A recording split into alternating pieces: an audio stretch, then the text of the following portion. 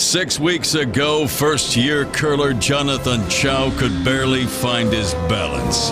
But on the last rock of the last end of his Monday Night Men's League, he makes his first double takeout on purpose. Yeah, that's right. He called it. He made it.